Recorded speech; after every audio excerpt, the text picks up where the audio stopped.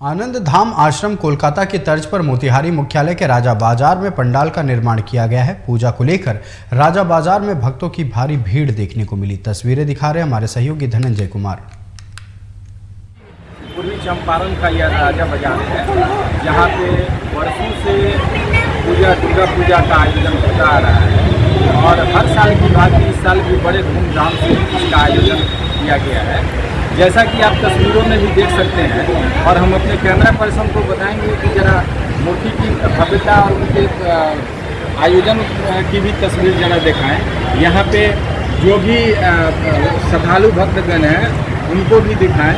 और जैसा कि यहाँ श्रद्धालुओं की भी उम्र पड़ी है, और और सभी के सभी श्रद्धालुओं के अंदर ये अपनी अपनी कामना है, भावना है और उसको लेकर पूजा पंडाल का दर्शन कर रहे हैं और सप्तमी होते ही माता का पट खुल गया है जिसको दर्शन करने के लिए सारे लोग ये उमड़ गई है।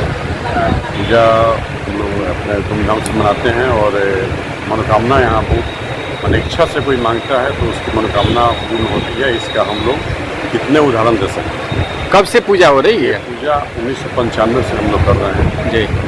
और इस पूजा में हमारे उन्नीस सौ पंचानवे जो भी सदस्य है जो भी अध्यक्ष सेक्रेटरी जो भी हैं जी। जो भी लगे हुए हैं आज तक सभी लोग साथ दे रहे हैं और जनता का सहयोग और पूरे मोहल्ले का सहयोग हम लोग को मैंने मिलता रहा। जी। धूमधाम से पूजा करते हैं। पूजा की खासियत यहाँ की बताइए आप थोड़ा। पूजा की खासियत है हम लोग एक सौ इक्यावन रुपया से पूजा शुरू किए हैं। जी।